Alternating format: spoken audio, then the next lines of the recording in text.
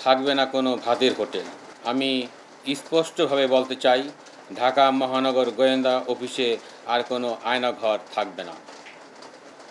ডিবির কলঙ্কিত অধ্যায় শেষ করে সেটিকে পবিত্র করা হবে যেখানে মানুষ ন্যায় বিচার পাবে।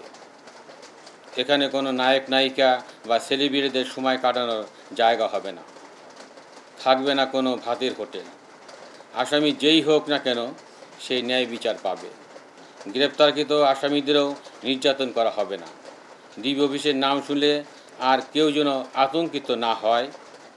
আমাদের আসামির আস- আমাদের শুধু অপরাধীরাই যেন ভয় পায়।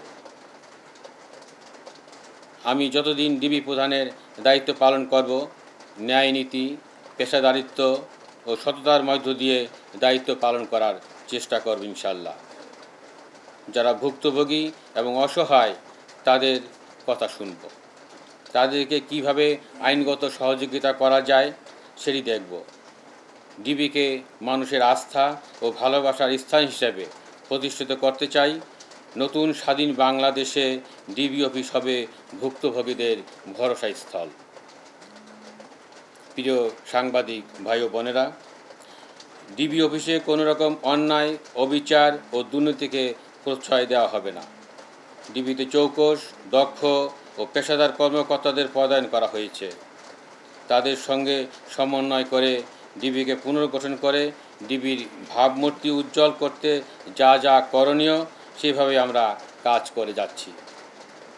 আশ্বস্ত করে বলতে পারি, সরকার আমাকে যতদিন এই পদে রাখবেন, ততদিন সার্বিকভাবে যে সকল কাজ আইন আইনানুগভাবে হওয়ার কথা আমি সেভাবেই করে যাব ইনশাল্লাহ সাধারণ মানুষ যেন সুবিচার পায়, অন্যায় জুলুম থেকে বাঁচতে পারে, সেটি নিশ্চিত করা হবে। এমনকি আমিও আইনের ঊর্ধ্বে নই। আমি আপনাদের নিশ্চয়তা দিচ্ছি, ডিবির কোনো সদস্য যদি কোনো ধরনের অনৈতিক ও অপেশাদার কর্মকাণ্ডের সাথে যুক্ত হন, তাদেরকেও বিন্দুমাত্র ছাড় দেওয়া হবে না। প্রিয় সাংবাদিক, ভাই ও বোনেরা পুলিশ সাংবাদিক, সহযোদ্ধা হিসাবে একসাথে কাজ করতে পারলে দেশে অন্যায়, অবিচার, দুর্নীতি অনেকাংশেই কমে যাবে বলে আমি আন্তরিকভাবে বিশ্বাস করি। আমি ডিবিকে, দেশের জনগণের আস্থার জায়গা তৈরিতে আপনাদের সাংবাদিক ভাইদের সার্বিক সহযোগিতা কামনা করছি। আমি প্রিয় নগরবাসীর উদ্দেশ্যে বলতে চাই কয়েকদিন পরেই হিন্দু সম্প্রদায়ের ধর্মাবলম্বীদের শারদীয় দুর্গাপূজা অনুষ্ঠিত হবে, আট তারিখ থেকে তেরো তারিখ পর্যন্ত। পূজা উপলক্ষে সকলকে শারদীয় অগ্রিম শুভেচ্ছা জানাচ্ছি আমার ডিবির পক্ষ থেকে। দুর্গাপূজা উপলক্ষে সারা দেশের মতো ঢাকা মেট্রোপলিটন এলাকায়ও নিশ্চিদ্র নিরাপত্তা ব্যবস্থা গ্রহণ করা হয়েছে। ঢাকা শহরের প্রতিটি পূজা মণ্ডপের নিরাপত্তায় এবং পূজা উৎসবে পুলিশের পাশাপাশি ডিবির টিম সাদা পোশাকে দায়িত্ব পালন করতে করবে যাতে উৎসবে মেতে উঠতে পারে প্রিয় নগরবাসী।